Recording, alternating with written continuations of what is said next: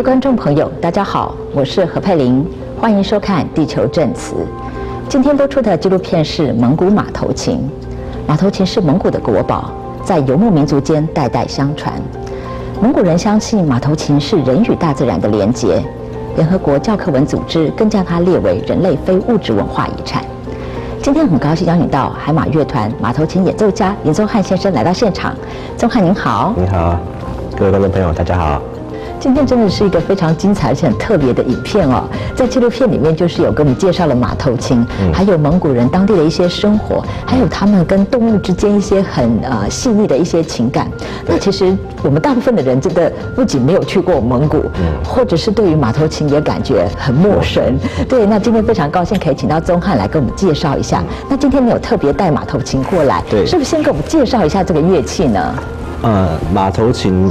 哦，顾名思义，它会有一个码头，嗯，然后它以前呃传统最传统的弦呢，他们是用那个马的尾巴、马的鬃毛或者尾巴来做他们的弦，是，然后通常内外弦的那个它都是一束一束的弦，嗯，大概都八十或是到呃低音高音弦是八十根竖成一束，然后高音弦是一百二十根。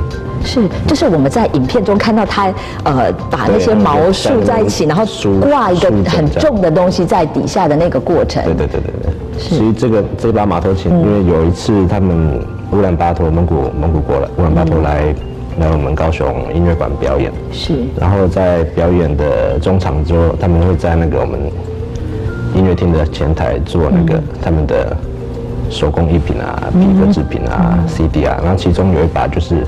他们带这把马头琴来卖，哦，然后当初，当初我有在学二胡，嗯，然后我爸爸就看到，哎，这匹马的马头的雕工还不错，这样。是，然后也是两根弦，想说，嗯，应该跟二胡一样吧，嗯，然后就嗯，反正也不贵，就买回来给我玩。所以当时其实你还不会弹奏马头琴，不会。嗯嗯，那马头琴跟二胡真的差不多吗？啊，差很多。那可不可以比较一下？我们可能对二胡比较熟悉。比如说二胡来来说，我们是二胡，我们是放在腿上演奏的。是。然后马头琴跟其他所有乐器不一样，马头琴是用夹在腿上。哦。像在骑马一样。对。对。的确。然后再来就是那个演奏技法不一样，他们手指头。按弦的地方也不一样哦，怎么说呢？二胡是直接按在弦上，按在弦上嘛，对不对？对。然后马头琴比较特别，它没有指板。对耶，它连刻度都没有。对，它会用我们手指头的白月。哦，那刚好是肉跟指甲啊，对对对，交接的那个位置。嗯，OK。然后就是用用顶的。哦。嗯。然后比较特别的是，这三根都在外面，只有演奏这根的时候，小拇指要。插进来哦，那指法的确蛮不同的。对，音域也不一样。像二胡的话是高音弦在外面，低音弦在里面。是。马头琴刚好相反。嗯。就低音弦在外面，高音弦在里面。所以演奏技法上，如果你要把二胡那一套来融入马头琴这一套，是完全不行。所以爸爸当初真的是只看了两根弦，这样子考虑实在是，现在发现差异是很大的。那那一晚上带回去之后，我就兴冲冲的就拿起来，就完全拉不出声音了。哦，会这样子。是，那其实呃我们在影片中有提到这个马头琴的制作，呃，它可能在呃这个琴把上可能是用这个马的骨头，然后呃或者是在这个琴的弦上面可能是要取马的鬃毛。那呃您这把你这把琴也是它的这个制作的材料上头跟呃影片中介绍的异同在哪边？其实，嗯，比如说我们先看。我们的情情景部分哈，是。它现在已经是已经都是用木头做的了，嗯，已经其实那个用马马的胫骨做那个他们的情感已经是一个就是一个传说哦，现在大家已经不这么用了，对，也没有办法这么用了，是，然后再来就是弦的部分，现在现在都改成尼龙弦，哦，因为那个弦的那个损耗度比较低。哦，是是因为台湾气候的关系吗？我买回来，我当初买买利用从蒙蒙古买了两把琴回来，有其中有一把就是上马尾的弦，后来在台湾，因为台湾气候太太潮湿，哦，是，就拉没几根就断一根，拉没几根就断一根，后来就断光了。哇，所以真的不同的气候在材质的选择上，其实会有不一但是在样的挑音音战。色上的话，马尾其实比尼龙声音要好听很多。哦，这样子，嗯，所以如果是最好的状况，还是会比较倾向用这个马尾下去走。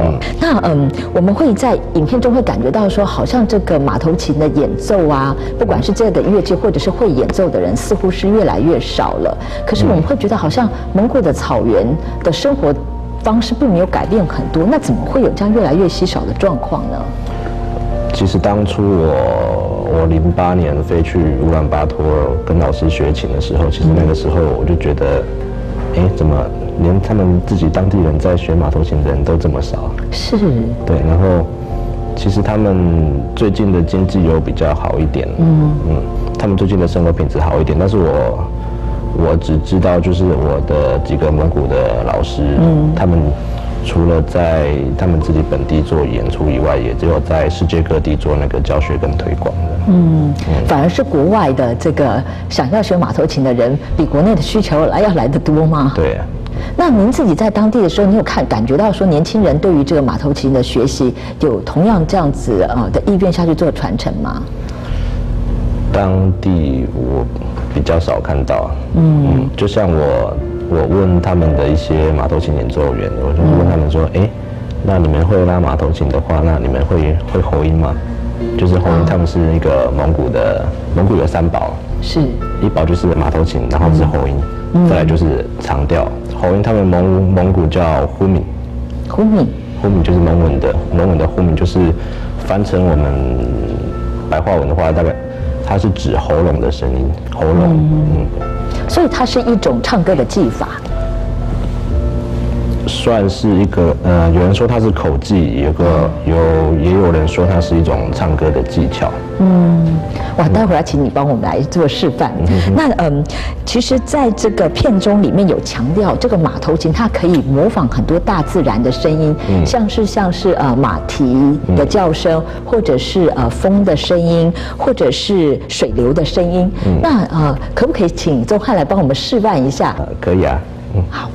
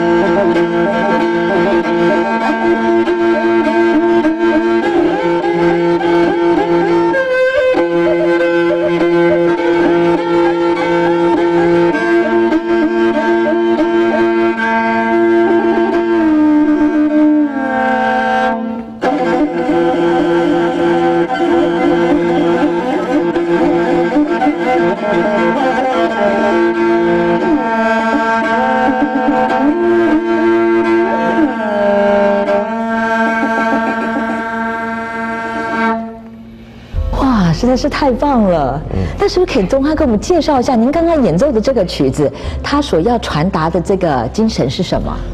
所以刚开始会有一个长音，比如说，嗯，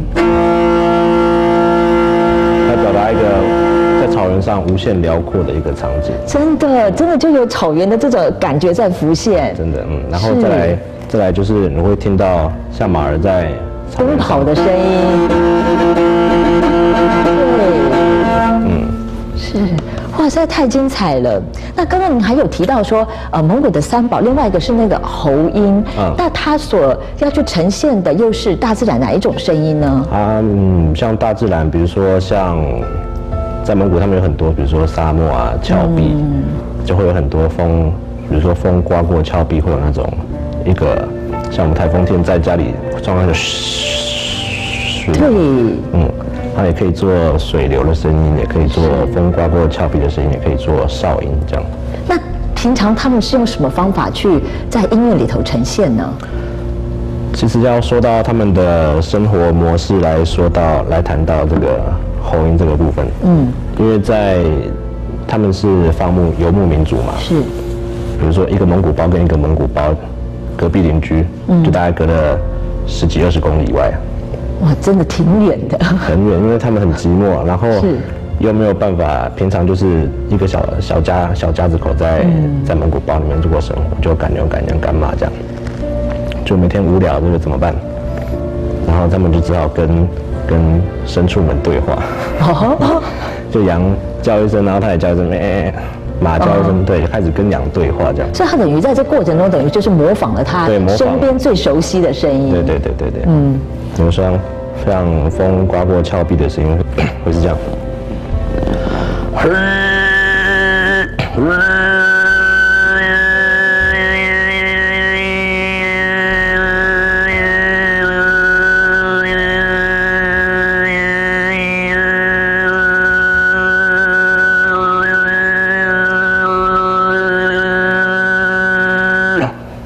好有画面感哦。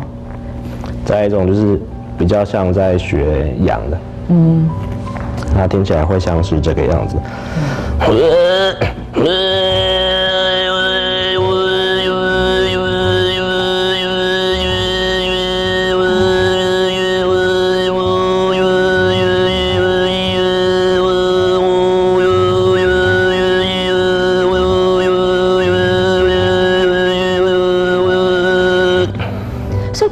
会把这些融入在他们音乐的表演中吗？会。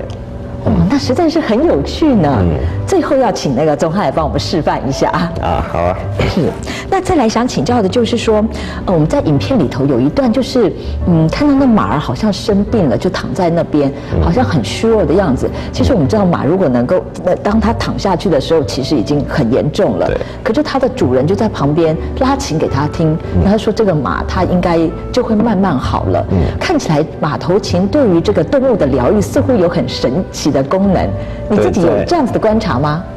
有，其实在这个影片之前有一部电影叫做《骆驼骆驼不要哭》。哦，是。对，它也是一样，就是那个母骆驼因为难产，嗯，然后后来生了那个小骆驼之后，因为母骆驼是第一次生那个 baby，哦，然后后来就它不肯喂那个小小骆驼喂奶，嗯，然后已经过了很久，就大家都很着急啊，就不知道怎么办，然后就有人说，哎。那如果请古老的那个马头琴的演奏的师傅来拉，嗯，因为他们相信马头琴，马头琴呃老师傅演奏出来的马头琴有一种神奇的力量，嗯，就是它可以让唤起那个母骆驼那个母性的功能，哇，嗯，然后就请请了那个老师傅来拉一拉之后，那个母骆驼就看着母骆驼就掉泪了，然后他也愿意让那个小小骆驼去喝他的奶。哇，真的是，这是太神奇了。那其实马头琴在呃蒙古人的这个生活里头，如果是它能够扮演跟呃自己的动物沟通的一个桥梁的话，那是很重要的一个功能呢。尤其是蒙古人都有养这么多的动物。那嗯，其实就有呃在以前的这个蒙古人，其实家里每一个人每一个家庭都有一个马头琴。如果有客人来的话，会把马头琴让他摸摸，或者是让他可以去弹奏，好像是亲近一个很仁慈的。的神灵。那怎么会有这样子的习俗呢？其实，嗯，我那时候去乌兰巴托，其实他们有说，他们马头琴有分为大致上分为两种，嗯一种就是专门在演奏用的，然后一种就是放在会放在家里的墙壁上做装饰用的。是，嗯，然后他们其实马头琴对他们来说是相当重要的一个指标。嗯，比如说有客人来的话，他就先讲说，哎，这是我家的马头琴，这样你可以来看看，说顺便让。这个马头琴或许可以为你带来带来一些祝福，让你带就是平安喜乐这样子。是。我有一次就是跟着我几个蒙古朋友去那个郊外，嗯，就是一户朋友家，就一个老伯伯家里，嗯，然后我跟他说刚好又有带着马头琴，嗯，然后我就住在他家，然后就现学现卖的拉了一首歌给他听。然后他就很开心吧，很开心，然后就献了一个哈达给我。啊，是，哇，那真的也是人与人之间很重要的桥梁的沟通呢。嗯，那钟汉你自己本身学习马头琴也是特别到蒙古去拜师学艺的。嗯，那想请教一下，学习马头琴的过程是不是就像我们在影片中看到的，呃的这小朋友在跟老师学习一样？呃，那他又跟我们传统的这个学习音乐的方式有什么不同呢？蒙古人来说，他们最大跟我们像我们科班生在从小小学，然后小朋友这样跟着科班生这样一路走上来，最大特别不同的地方就是他们不看谱。哦，不看谱，嗯，是。那这样子怎么记得歌曲呢？他们就是老师傅拉一句，然后你跟着拉一句，嗯，然后老师傅再拉一句，你再跟着拉一句。是耳朵要非常的敏锐呢。你的老师都会非常有耐心的去指导你，就是如果你愿你你是愿意学的话，嗯，那师傅是很很愿意花很长的时间去指导你、教导你这样，嗯，然后等到你整首拉完的时候，因为已经不知道重复了几百遍了，你那首歌也背起来了，真的是，而且其实在整个过程中会跟老师的感情非常好，非常好，就是我记得我印象比较深刻的就是我有一次去老师家。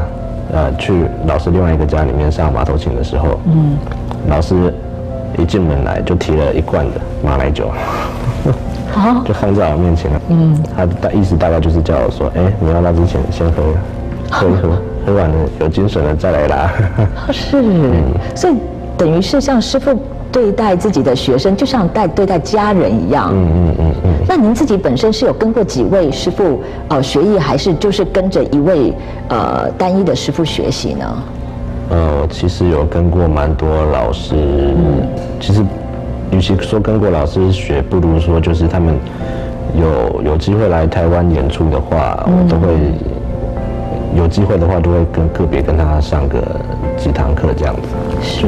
抽空跟他们约时间上课，是，所以其实对于这种情谊的交流，应该对于蒙古人是非常乐意进行的这种。对啊，他们觉得，哎，怎么有台湾人愿意学这个东西，他们也觉得很开心的。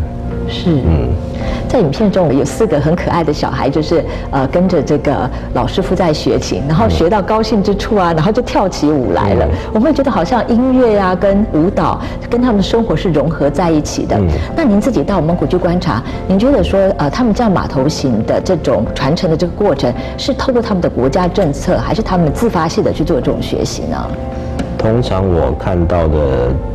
其实我我有问以前我去的时候有问过几个在蒙古的那边的小朋友，他们就觉得，其实马头琴对他们来说他们是熟悉的，但是也是陌生的，嗯，因为他们对这个乐器来说，或许现在已经没有这么大的兴趣去做传承，他们还是比较希望可以出出国去念书，或者去做比较能够维持家计的工作这样。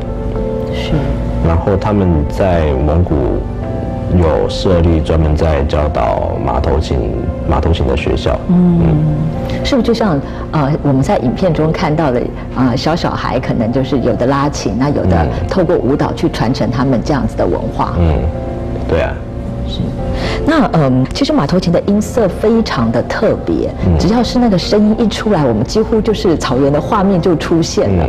那比较起其他的这个弦乐器，其实您自己本身也有一些弦乐器的学习经验。为什么这个马头琴它有这种特殊的魔力，可以去把草原的这样子精神可以去做传递呢？马头琴这个乐器，他们很常使用到双弦这个技巧，就是同时、同时拉到两条弦，同时演奏。嗯然后因为他们的是四度的关系，适度四度就是比如说哆来咪发，这样是四度，四度音阶的关系。是对，跟一般的五度啊，其他的弦乐器几乎都是五度居多。